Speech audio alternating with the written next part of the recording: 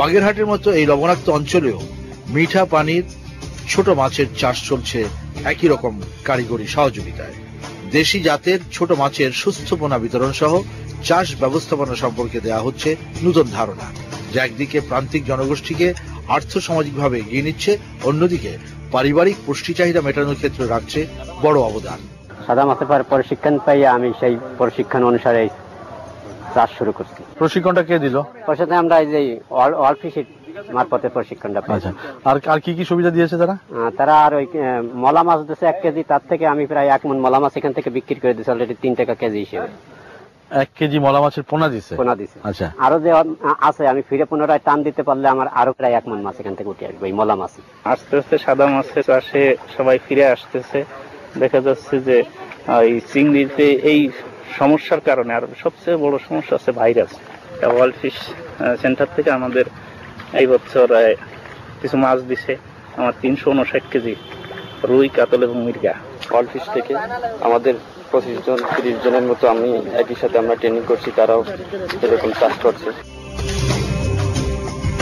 উন্নত পদ্ধতিতে সাদা মাছের চাষ সম্প্রসারণে প্রান্তিক কৃষকদের সংগঠিত করতে এখানে ওয়ার্ল্ড ফিশের পক্ষে কাজ করছেন বেশ কয়েকজন।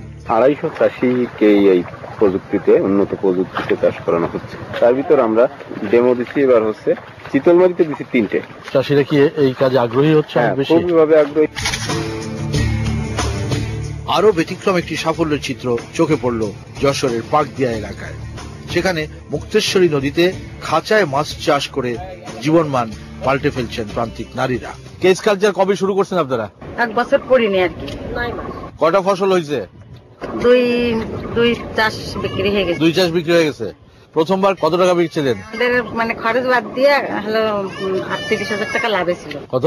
আটত্রিশ। পরে কি করলেন এই টাকা দিয়ে? এই টাকা দিয়ে কেউ ছাগল কিনেছে কেউ গরু কিনেছে কেউ সেলাই মেশিন কিনেছে। এখানেও সম্ভব করে তুলেছে ফিট দ্য ফিউচার একুয়াকালচার প্রকল্প।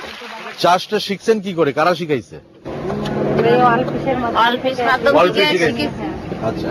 আপনাদের এটা দেখে অন্য জায়গায় হইতেছে নাকি না আপনারাই আপনারা? আমার বাপের বাড়ি। ওরা দেখে গেছে দেখি যাই এখন।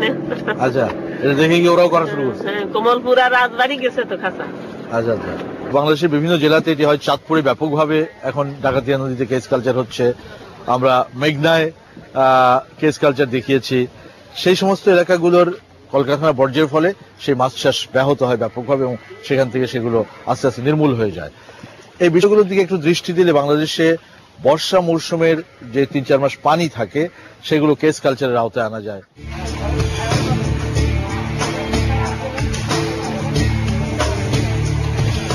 এভাবেই মাছ চাষ শিল্পের সকল ক্ষেত্রেই যোগ হয়েছে নতুন কিছু প্রযুক্তি, যা দেশের প্রাণীজ আমিষের ঘাটতি পূরণ, মৎস্যজাত রপ্তানি বাণিজ্য তথা কৃষি অর্থনীতির জন্য বড় এক অগ্রগতি। দেশের মৎস্য সংশ্লিষ্ট সরকারি গবেষণা এবং সম্প্রসারণ প্রতিষ্ঠান থেকে শুরু করে স্থানীয় পর্যায়ে বেসরকারি সংস্থা, সর্বোপরি হ্যাচারি মালিক ও খামারিরা পদ্ধতিগত নতুন শিক্ষাগুলো অনুশীলন এবং ব্যাপক সম্প্রসারণের উদ্যোগ নেবে, এটাই আমাদের প্রত্যাশা।